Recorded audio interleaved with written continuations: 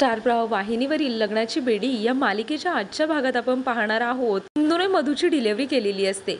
मात्र बाळ रडत नसते. सिंधू गणपती बाप्पाला घारानं बोलते आणि बाळ रडायला लागते. सिंधू आणि आजूबाजूच्या महिला सर्वजणी आता गणपती बाप्पाला हात जोडतात. त्यानंतर सिंधू तिथल्या महिलांचे आभार मानते. आज जर तुम्ही नसतात तर मी मधुताईंची डिलिव्हरी करूच शकले नसते.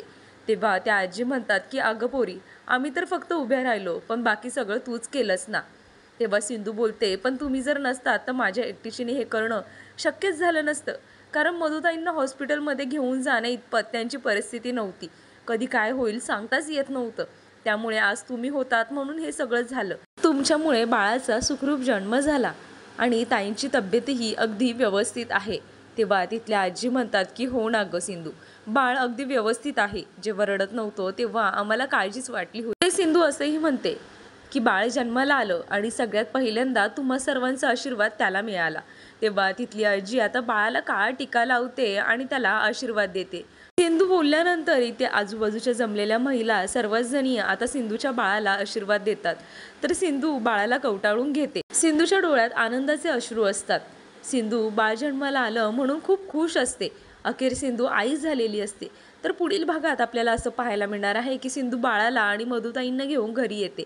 तेव्हा मधुताई बोलतात की तुला काय आज वंश बरोबर खेळायचंय? आणि काय तुला त्याचे लाड पुरवायचेत ना? पुरवून घे.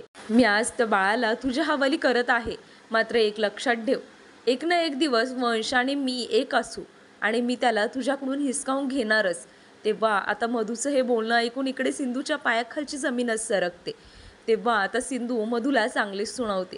बोलते की सिंधुताई तुम्ही एक लक्षात ठेवा. जर तुम्ही वंशला माझ्यापासून हिरावून घेतलं त्याला माझ्यापासून वेगळं केलं तर मी तुमची कशी वाट लावेल आणि याचा धडा मी तुम्हाला कसा शिकवेल याचा तुम्ही विचारही करू शकत नाही. आणि अजून एक गोष्ट लक्षात ठेवा. वंशची मी आई आहे आणि तुम्ही सरोगेट मदर आहात.